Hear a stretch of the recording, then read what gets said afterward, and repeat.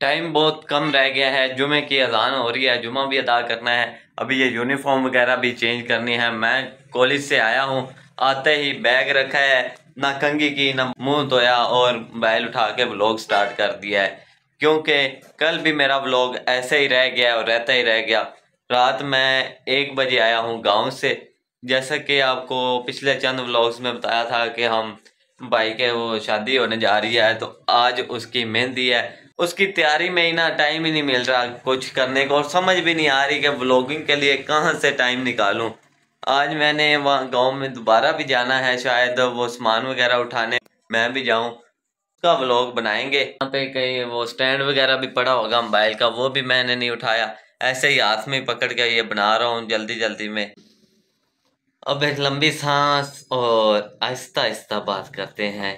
पहले मैं काफ़ी ज़्यादा तेज़ हो गया था। हमारे खरगोश भी ज़िबा कर दिए गए। तीन खरगोश।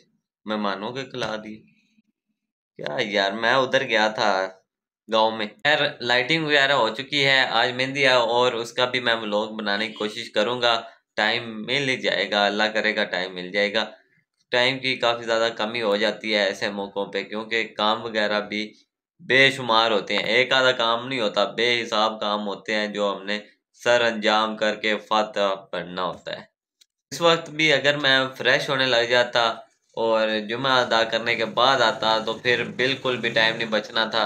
क्योंकि हो सकता है गाँव की तरफ़ निकल जाए। मैंने सोचा बाकी सारे काम बाद में पहले ऐसे यूनिफॉर्म में ब्लॉग स्टार्ट कर देते हैं।